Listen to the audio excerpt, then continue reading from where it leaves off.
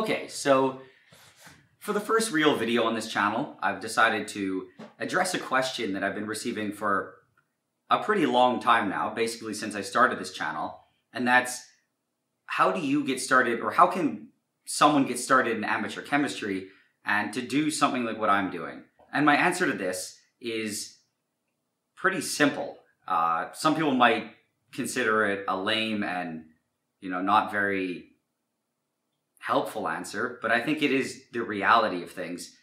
You just have to choose a project and do it. There, there's really not much else to it.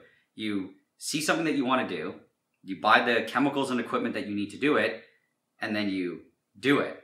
And then if you do that many times with many different types of projects, you eventually build up this whole array of glassware, chemicals, equipment, etc., and experience and I mean, that's kind of just it. And it goes like that for a lot of other things. You can't just prepare and, you know, try to get to level 50 when you haven't even gotten to level one yet. You have to just progress slowly and eventually you'll make it there. I get a lot of questions like this where people want to know, they're like, I'll have $2,000. I can just, what should I buy?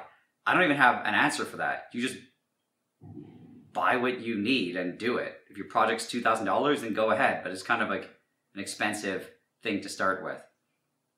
But with that being said, I there is one other thing that I wanted to talk about, and it's I'm I've always I'm answering this question to help people out for them to get started, but I've always I've always kind of been a bit uncomfortable encouraging people to do chemistry on their own because I don't necessarily make it that clear in my videos, but it's a very dangerous thing to do. If you don't know what you're doing, you can make a lot of mistakes where you can either hurt yourself or other people. And it's something that you really have to take into consideration. And I don't, in my videos, I don't want to be a drag and, you know, hammering all these negative things and dangers about chemistry. But that is kind of the reality of it. Uh, when you decide to do a hobby like chemistry, it's dangerous. It involves toxic chemicals, corrosive chemicals, and, you know, if you have gases, those are really bad. And you can also have fires. And these are all things to take into consideration. So it's, I really, I'm at this weird place where I really do want to encourage people to experiment on their own. It's something that I did since I was probably like eight or 10. And it's what led me to where I am now. And I know other people who have done stuff like that, and it's been you know more or less safe, more or less over the over the years.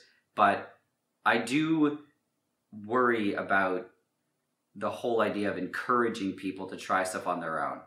Um, so I think that what I'll say is if you do want to try any chemistry on your own, definitely don't do anything like sulfuric acid distilling, mercury distilling, making things like a acrolein. Those are all really things that I would never recommend.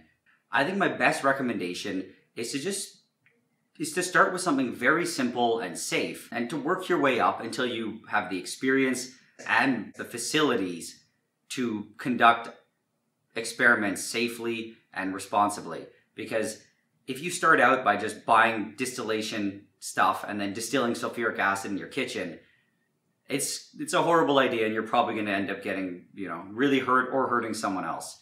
So it's something that you just start very small, just by a few chemicals or a couple chemicals, a few pieces of equipment, and just do a couple cool things. And if you are interested in it, you'll keep learning more and more and build up your inventory. And eventually you'll get to where you want to be. And that's basically it. There's not too much else to say about it.